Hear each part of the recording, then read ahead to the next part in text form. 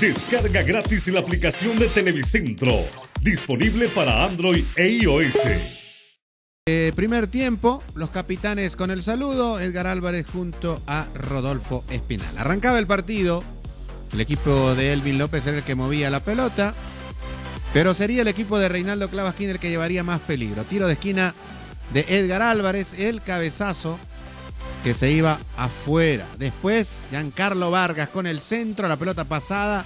Robin Orales que llegaba, la controlaba, mandaba el centro y el cabezazo.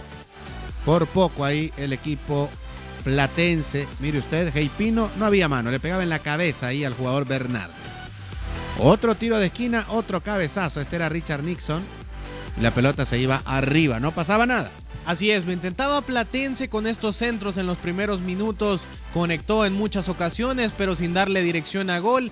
Esta una más de estas jugadas, esta fue a balón parado, dos cabezazos en el área. La, la banca de Platense, ahí tenemos a Luis Lobo, que puede ingresar en la segunda mitad.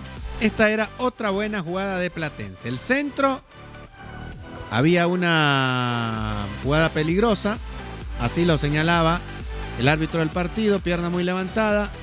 Sonny Fernández por poco se lleva un fuerte golpe. Edgar Álvarez, mire, metía primera, metía segunda, mandaba el centro y casi, casi, casi hay un autogol en el rechazo defensivo.